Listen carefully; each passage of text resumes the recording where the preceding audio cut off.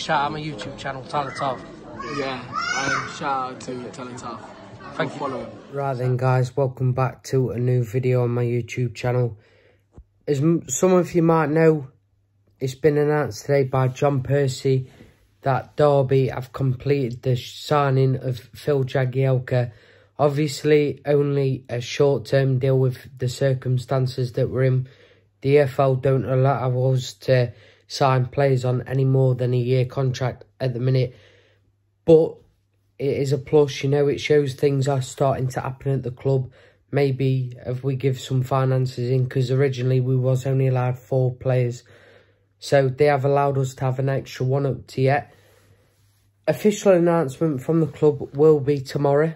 So that will mean that he will be eligible to play in the Wednesday game against Hull City. I know he's old, but for me, this is a good signing. If I'm completely honest, he's got experience. Under the circumstances we're in, we can't just go for anyone that we want. We can't go and spend four million. You know, we have to go for free. So, I think this is a really good signing in terms of that. I think in these first couple of games, Richard Stearman hasn't really been great. So, I think I'd rather have a centre back partnership of Curtis Davies and Phil Jagielka. I know it's not very fast. I know it's quite an old centre centre back um, partnerships. However, you know, going into a season where it's going to be an odd one, we need this experience. We need the sort of passion. We need the leaders that these two are. You know, Curtis Davies shown that yesterday, uh, last season, sorry, when he was willing to play the last game of the season with an injury. They're the types of leaders that we need going into this season. Um, and I think the back four could be really good. You know, when you look at it, say if we were to bring David Marshall in back in goal experience, a centre back partnership of Curtis Davies, Phil Jagielka, and then Nathan Byrne and Buchanan, you know, I think that looks pretty um, pretty good, especially when you consider that Christian Bielik's got to come back yet. And then if we made a back five, that would look pretty good to me, you know. Considering the circumstances we're in, things don't look that bad. You know, we all thought that we'd have no players and stuff like that. So, you know, this could be a really positive signing for me. He's got the experience. He's been through ups and downs of football. He knows what it's like to be in these situations. He's been there.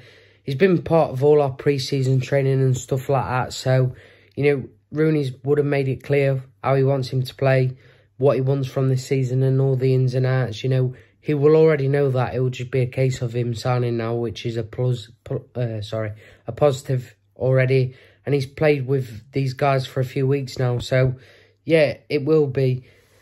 Um, also, Rooney still after Sam Baldock. Obviously, with Kazim Richards getting injured at the weekend, we need a striker. And he's still working on getting Sam Baldock in. Again, I know people are going to go, oh, you know, bad signing and all the rest of it. But fans also thought this about Kazim Richards when we brought him in. Give him a chance. He's not even put the Derby shirt on yet. It could turn out good. And like I've said already, we're under a transfer embargo. We can't just go out and get, you know, your Jack Marriotts or anyone like that. We're stuck in the mud. Um, so we have to live with what we've got. And I don't think it would be a bad signing, if I'm honest. I think, um, you know, with our support, he could turn out good, get his confidence up. And yeah, you know, we we need to give these guys a chance and support them. You know, we're lucky that we've still got players wanting to play for us. A lot of players would be probably looking at us and thinking, no, why would I go there and ruin my career? I ain't going to win anything. I'm not getting promoted. But these guys are willing to stick by. So we're lucky to have that. And for me, I'd rather have players that's wanting to play for us than people that's coming just for the money. These guys clearly aren't here for the money because we can only offer them contracts of four and a half grand a week. So they're not here for the money. They're here to help us out in the situation that we're in, which I, I support 100%. I'm, I'm back in that other way.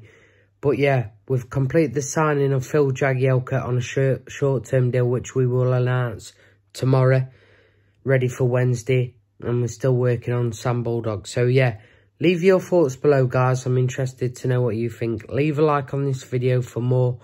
Uh, I will do a video when it's officially announced.